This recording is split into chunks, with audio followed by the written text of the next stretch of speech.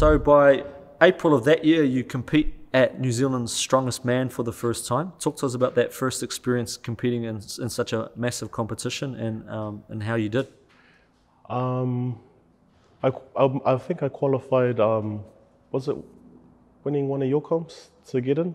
Something like that. Yeah. So I qualified for nationals, and um, I, I heard that that was one of the toughest like strongman comps uh, in, in New Zealand. And then after doing that comp, yeah, sure enough, it confirmed that it was pretty rough. And you you made a special life decision at that comp. oh yeah, that's talk, talk, to, talk to us about uh, talk to us about what happened uh, and, and and and you jumped on the mic and you pulled someone from the crowd. What happened? Yeah, so uh, yeah, that's right. 2018, I won my first New Zealand uh, Strongest Man title, but also proposed to my missus, um, Paige Harris, the same day. But um, I actually done it before before they announced the winner. So I, I, I wasn't too focused. I was more nervous about proposing than who was gonna win the comp. And what made you decide that was the opportune moment to to, to ask Paige to marry you? Um, frick, I was always ready, but I was just trying Born- to find the right moment. Born ready, eh? Yeah, just right. trying to find the right moment. So, uh, also sticking on April, you had your first comp as a super heavyweight. You decided, man, I'm, I'm not going to be able to keep this body weight down. You hit your first 320, 700 pound squat, 847 total. Do you remember much about that first comp as a Yeah. super heavyweight? Yeah, that, that, that was a good comp because um, I'm always trying to cut, cut weight um, for the under 120s. I'm always water loading and nutrition plan and stuff. But for that comp, I, I was I went in like feeling good. I didn't have to stress about my food and eating and stuff. Just went in, um, just like felt normal, like a normal training because I normally train at 125 uh, body weight. Yep. And so I went in feeling comfortable and yeah, just haven't looked back since, like at the under 120 uh, class.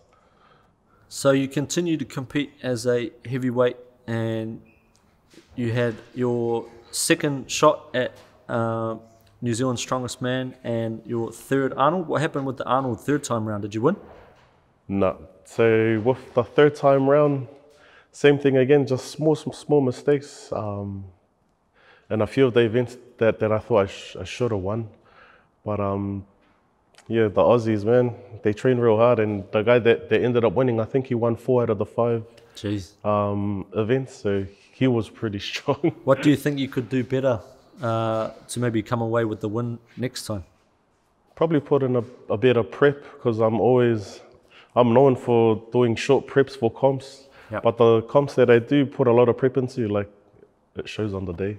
Talk to us about that second New Zealand Strongest Man title. Oh man, that was the toughest one.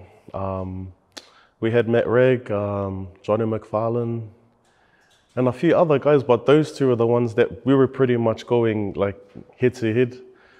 Um, going into the last event, uh, uh, the Stones got me. Eh?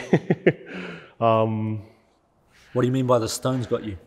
Oh, that like I would have, I would have got um like a better placing like points wise, if if I did well in the stones, but I did just enough to to finish off. Um, And you Uh, came away with the, you came away with the title again. yeah, came away with the title, but yeah, that one was a special one because to because I went up against Matt Reagan and Johnny McFarlane, who are um um Some of the top guys, eh? yeah yeah some of the top guys, but especially Matt Ragg, he's like a three four time now.